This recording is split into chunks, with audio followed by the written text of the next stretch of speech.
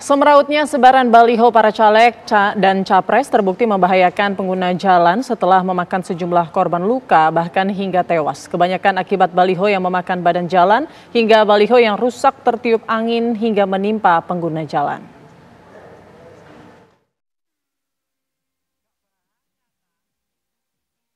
Sejumlah kasus baliho pemilu yang memakan korban berulang kali terjadi di sejumlah daerah ada yang membuat terluka hingga menewaskan pengguna jalan. Korban terjatuh karena tertimpa baliho. Seperti yang terjadi di Kebumen, alat peraga kampanye milik seorang caleg jatuh tertiup angin dan mengenai pengendara sepeda motor seorang siswi SMA. Dari kejadian itu, satu korban meninggal dunia di lokasi dan korban lainnya mengalami luka ringan. Kasus ini masih dalam penyelidikan polisi untuk memeriksa bukti dan saksi di lapangan.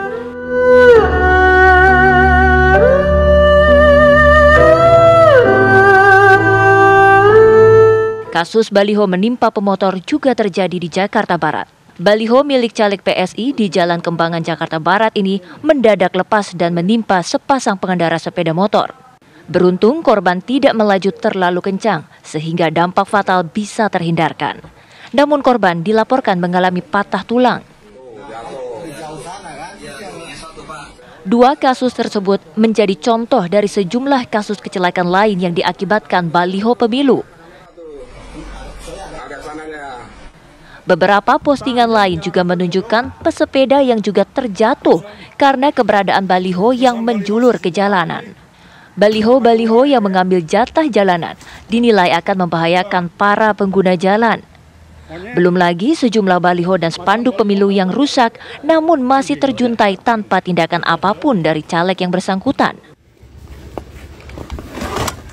Perhatian dan masang marasang baliho. Kondisi ini dipastikan akan terus berulang jika tidak ada tindakan dan sanksi yang jelas bagi para caleg dan juga tim ses yang memasang baliho tanpa mengikuti aturan.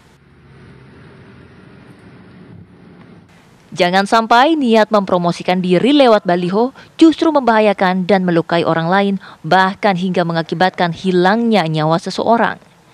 Tim TV One mengabarkan.